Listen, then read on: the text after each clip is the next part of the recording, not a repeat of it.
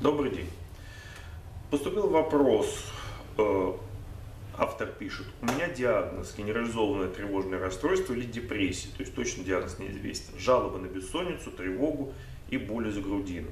Ранее принимался саротен, это датский амитриптилин, дозировки 50 мг утром и в 17, наверное, 00 часов вечером 50 мг плюс хлорпротексен 25 мг. Полгода было получше, потом саратен датский амитриптилин исчез, назначили 6 таблеток по 25 мг, наверное, амитриптилина белорусского э, и хлорпротексен 50 мг.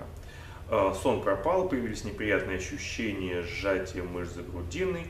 Сейчас принимает 150 мг амитриптилина, 50 мг хлорпротексена уже полтора месяца. Спит 3-4 часа, ощущения не прекращаются, настроение плохое, большой вес, не хочется ничего делать. Ваше мнение, менять препарат или оставаться на этой схеме, сколько по времени? Сейчас врач планирует перевести на ципролекс одна таблетка и лирика утром и вечером. Ваше мнение, лирика ведь малоизученный, неизученный препарат, у нее есть привыкание и побочки. А, итак, э, тут два вопроса, по сути дела, по поводу смены саротена на амитриптилин. Почему на саротене, на датском амитриптилине состояние было более-менее ничего, а при его смене на белорусский амитриптилин, белорусско-голландский, а, состояние так значительно ухудшилось. Это как раз вопрос о оригинальных препаратах и дженериках. А, при том, что формула амитриптилина и там, и там абсолютно одинаковая, само производство, исходные материалы, использующиеся, сырье, использующееся для производства лекарств, может отличаться очень сильно. И если говорить конкретно вот про белорусский и датский амитриптилин, то, к сожалению, да, я могу сказать, что отличие саротена от амитриптилина другого производства очень значительно.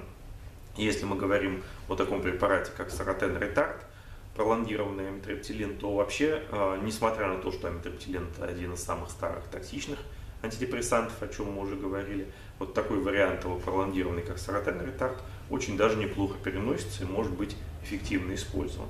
Поэтому то, что при переходе от препарата одного производителя на такой же по химическому составу, но препарат, произведенный совершенно других условиях, ситуация, состояние может ухудшиться, это, к сожалению, не редкость.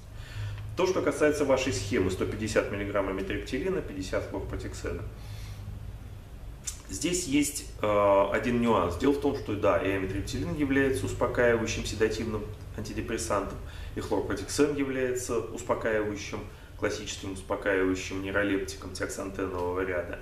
Но тем не менее, все равно сон у вас нарушен, спите вы мало.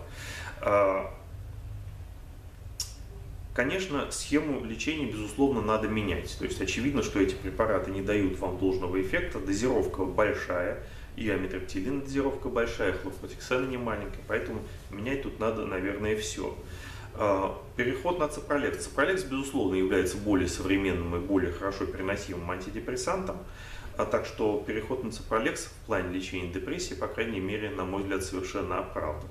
Естественно, это не мое назначение, я только анализирую ваше письмо. А, то, что касается назначения лирики, а, это, конечно, должен решать только лечащий врач, только при очном контакте. В принципе, если мы говорим о диагнозе генерализованное тревожное расстройство, ее использование возможно. Вы а, пишете, что препарат не изученный, на самом деле сейчас уже появилась информация и от то, что вы пишете о формировании привыкания и о побочных эффектах. эффектах. А, конечно, наверное, вы не даете информацию, назначалось ли вам что-то еще, но, наверное, я бы попробовал все-таки сначала классические транквилизаторы, обычные бензодиазепиновые транквилизаторы, если у вас одна из основных жалоб бессонница и тревога. Вот. Если бы они не помогли, вот тогда бы, наверное, можно было бы рассматривать и лирику. Но это, еще раз подчеркну, должен решать только лечащий врач, непосредственно вас наблюдающий и ведущий. Дополнительную информацию вы можете найти на нашем сайте mednauka.net и на нашем канале на портале youtube.com. Всего вам хорошего, до свидания.